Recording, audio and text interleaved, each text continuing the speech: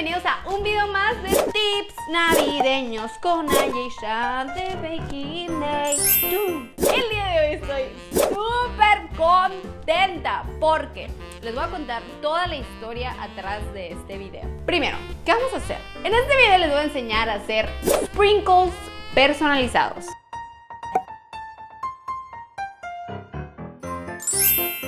Yo siempre que veía como recetas de sprinkles era, pero ¿para qué voy a querer hacer yo los sprinkles si solamente los puedo comprar? Bueno, la idea surge cuando quiero hacer unos sprinkles como súper únicos que no encuentro en ningún lugar y si los llego a encontrar están extremadamente carísimos. Entonces dije, pues la verdad es súper barato hacer estos sprinkles, así que les voy a enseñar súper, súper rápido, todo súper. Es que aquí es cómo hacer estos sprinkles y aparte van a quedar buenos. Y además también vamos a ver una forma en cómo los podemos utilizar porque está súper padre y la verdad que ponerlo abajito en los pasteles y en cupcakes se me hace que se ven chulos, chulos. Entonces, para hacer esos sprinkles vas a necesitar una charola con papel pergamino. ¿Por qué papel pergamino? Porque este papel, la verdad que es nuestro mejor amigo. No se nos pega nada, no tienes que poner aceite como en el encerado cuando tienes que poner aceite a veces. Hay dos maneras de cocinar estos sprinkles.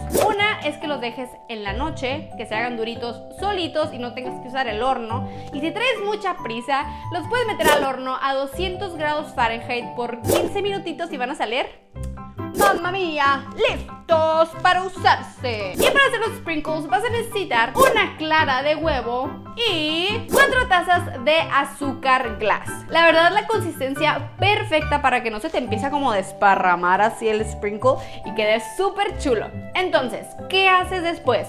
Le pones cualquier colorante que tú quieras. Yo en este caso hice un amarillo, uno rosa y un morado. ¿A poco no es lo máximo esta combinación de colores? ¿Verdad que sí? Entonces, ya que los puse en mi bolsita con una duya número 2, siento que es un tamaño perfecto para sprinkles. Obviamente, si tú quieres hacer algo más grueso, agarras una duya más grande o algo más finito y delgadito, puedes agarrar una 0 o una 1. Entonces, ya lo único que vas a hacer es agarrar tu manga y empezar a hacer la forma de lo que quieras en tu charola. Yo en este caso con el amarillo voy a hacer unos rayitos que a mí me encantan, los traigo así pero fascinados. Y vamos a ver cómo se hacen.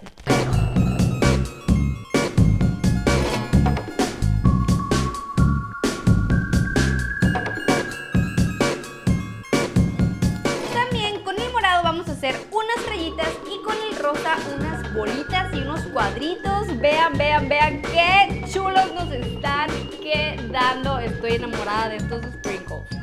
Y amigos, como yo si traigo un poquito de prisa hoy, lo voy a llevar al horno, recuerden, a 200 grados Fahrenheit por 15 minutitos. Y listo, ya quedaron, están, no, no, no, una cosa de bellos y hermosos. Vean, por favor, estoy enamorada. Ok, ahora les voy a enseñar la manera súper linda de decorar el.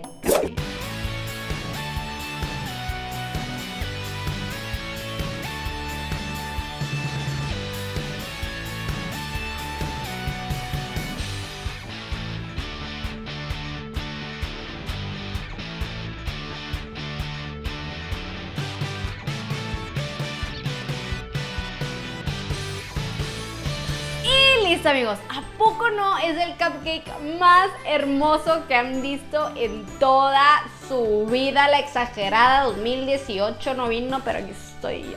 Les digo, la verdad, a mí me encanta hacer sprinkles en casa porque puedo jugar con los colores que yo quiera, puedo usar de verdad. Si necesito un rosa así de ese tono, los podemos hacer. Y aparte puede ser la forma que tú quieras, que es súper divertido. Así que si te gustó este video, recuerda que me ayudas muchísimo dándole un like, compartiéndolo y suscribiéndote. También recuerda que mañana tenemos un nuevo video, así que yo a ti te veo mañana con otro tip navideño. Besitos hasta tus cachetitos y nos vemos mañana. Bye.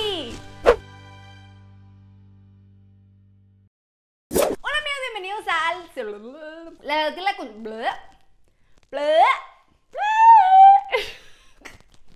Se me traba la lengua lo rápido que hablo. Voy a hablar más lento.